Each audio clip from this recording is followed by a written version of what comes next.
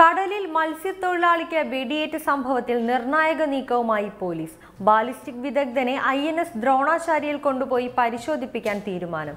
Firing പരിശീലനം നടത്തിയതിന്റെ രേഖകൾ ഹാജരാക്കാനും നാവികസേനയോട് പോലീസ് ആവശ്യപ്പെട്ടു.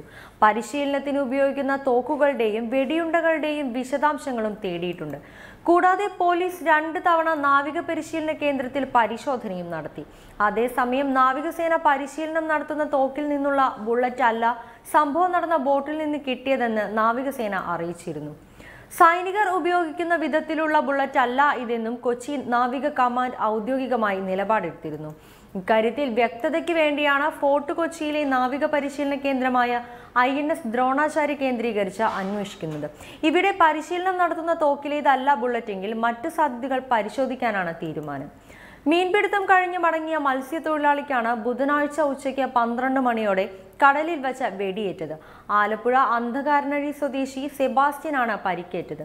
നേവിയാണ് വെടിവെച്ചതെന്ന ആരോപണവുമായി മത്സ്യത്തൊഴിലാളികൾ രംഗത്തെത്തിയിരുന്നു. എന്നാൽ ഇക്കാര്യം നേവി നിഷേധിച്ചതോടെ ബാലിസ്റ്റിക് വിദഗ്ധരുടെ സഹായത്തോടെ തീരദേശ പോലീസ് അന്വേഷണം തുടങ്ങുകയായിരുന്നു. ഫോർട്ട് കൊച്ചിയിൽ ഒന്നര കിലോമീറ്റർ മാറി കടലിലാണ് സംഭവം. മീൻപിടുത്തത്തിന് ശേഷം സെബാസ്റ്റ്യനും മറ്റ് മുപ്പത്തിയൊന്ന് പേരും കരയിലേക്ക് മടങ്ങുന്ന സമയത്ത് കാതിൽ എന്തോ വന്ന് തറച്ചുവെന്നാണ് പറയുന്നത്. പിന്നിലേക്ക് മറിഞ്ഞു വീണ സെബാസ്റ്റ്യന്റെ ചെവിയിൽ നിന്ന് രക്തം വരുന്നുണ്ടായിരുന്നു. തുടർന്ന് നടത്തിയ പരിശോധനയിലാണ് ബോട്ടിൽ നിന്ന് തന്നെ വെടിയുണ്ടയും കണ്ടെടുത്തത്. നാവികസേന പരിശീലനം നടത്തുന്ന ഫോർട്ട് കൊച്ചിയിലെ ഐ എൻ എസ് ദ്രോണാചാര്യയോട് ചേർന്ന മേഖലയിലാണ് സംഭവം.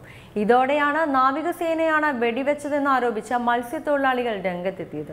വിവരമറിഞ്ഞ പോലീസും നാവികസേനയും ആശുപത്രിയിലെത്തി. വെടിയുണ്ട പരിശോധിച്ച നാവിക ഉദ്യോഗസ്ഥർ ഇത് തങ്ങളുടെ തോക്കിൽ നിന്നുള്ളതല്ലെന്ന് പോലീസിനെ അറിയിച്ചു.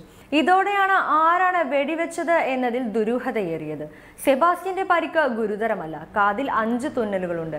ബാലിസ്റ്റിക് വിദഗ്ധരുടെ സഹായത്തോടെ അന്വേഷിക്കാനാണ് തീരദേശ പോലീസിന്റെ തീരുമാനം. ഫോർട്ട് കൊച്ചിയിൽ കടലിൽ വെച്ച് വെടിയേറ്റ സെബാസ്റ്റ്യൻ രക്ഷപ്പെട്ടത് തലനാരിഴയ്ക്കെന്ന് ദൃക്സാക്ഷി മൈക്കിൾ പറഞ്ഞു. ബോട്ടിന്റെ മധ്യഭാഗത്തായിരുന്നു സെബാസ്റ്റ്യൻ നിന്നിരുന്നത്. വെടിയുണ്ട ചെവിയിൽ കൊണ്ട് സെബാസ്റ്റ്യൻ മറിഞ്ഞു വീണു. ചെവി മുറിഞ്ഞു അഞ്ചു തുന്നലിട്ടു. അതേസമയം വെടിവെച്ചത് തങ്ങളല്ലെന്ന് നാവികസേനയും വ്യക്തമാക്കി. നാവികസേന ഉപയോഗിക്കുന്ന ബുള്ളറ്റ് അല്ല ചിത്രത്തിലുള്ളത്. അതിനാൽ പോലീസ് അന്വേഷിക്കട്ടെ എന്നും നാവികസേന ഉദ്യോഗസ്ഥർ പറഞ്ഞു. ഫയറിംഗ് പ്രാക്ടീസ് നടത്തുന്ന ബുള്ളറ്റ് അല്ല ഇതെന്നാണ് പരിശോധിച്ച ശേഷം നേവി ഉദ്യോഗസ്ഥർ വിശദീകരിച്ചത്. കടലിൽ നിന്ന് ഒന്നര കിലോമീറ്റർ അകലെ വെച്ചാണ് വെടിയേറ്റത്. ഈ സമയം മുപ്പത്തിരണ്ടോളം പേർ ബോട്ടിലുണ്ടായിരുന്നു. ബുള്ളറ്റ് തങ്ങളുടേതല്ലെന്ന് നേവി വ്യക്തമാക്കിയതോടെ കൂടുതൽ പോലീസ് വിശദമായി അന്വേഷിക്കുമെന്ന് കോസ്റ്റൽ എസ് മാർട്ടിൻ സി പറഞ്ഞു.